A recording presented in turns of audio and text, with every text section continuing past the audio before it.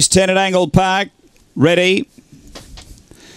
And away, pace here from Anisa Bale's going to drive through and look for the front. Pace from Charlie Zeller, who's burning over. Charlie Zeller's going to get up and lead from Anisa Bale. A couple away is Inga Bale, and two away, Gunlock Warrior of Oz. Next is Zana Bale, and then came Official Label. And out the back is Josie Khan. Down the back, leader Charlie Zeller. A length and a half, Anisa Bale. A couple away, Inga Bale, and then came Gunlock. They're on the turn.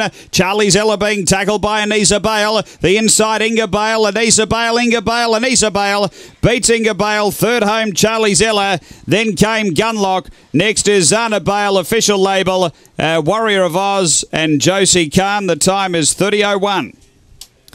After the running of race 10, numbers are 2, 7, 8 and 5. Number two, Anisa Bale, Tony Rasmussen, Black Bitch, December 2012, Bartram Bale, Tonelli Bale. Uh, number two, first. Second, going to seven, Inga Bale, Wendy Matcott.